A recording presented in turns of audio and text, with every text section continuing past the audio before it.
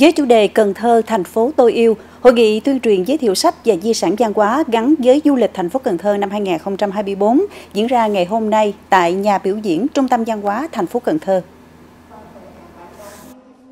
Năm nay, hội thi thu hút 230 thí sinh đến từ 21 đơn vị trực thuộc thành đoàn tham gia. Điểm mới là kết hợp tuyên truyền giới thiệu sách và di sản văn hóa gắn với du lịch trên địa bàn thành phố Cần Thơ.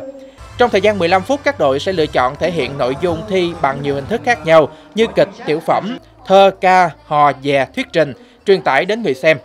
Hội thi năm nay do Sở Văn hóa Thể thao và Du lịch phối hợp Sở Giáo dục và Đào tạo và Thành đoàn Cần Thơ tổ chức nhằm tôn vinh giá trị và khẳng định vai trò tầm quan trọng của sách trong đời sống xã hội, giới thiệu những địa điểm văn hóa du lịch tại địa phương, góp phần phát triển văn hóa đọc trong cộng đồng.